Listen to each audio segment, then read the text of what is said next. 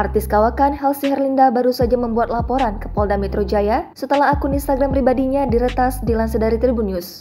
Halsey mengatakan bahwa ia mengetahui akunnya diretas seseorang setelah temannya memberitahu bahwa akunnya sudah berganti nama saat dihubungi awak media pada Senin 17 Oktober kemarin. Selain itu, akunnya juga secara tiba-tiba menjadi akun private, padahal selama ini ia tak pernah mengunci akunnya menjadi akun private. Halsey mengatakan bahwa dirinya sempat kesulitan untuk membuka akun pribadinya itu melalui telepon seluler miliknya. Sebelumnya, Halsey yang kini sudah bisa kembali mengakses Instagramnya mengabarkan bahwa akunnya baru saja diretas.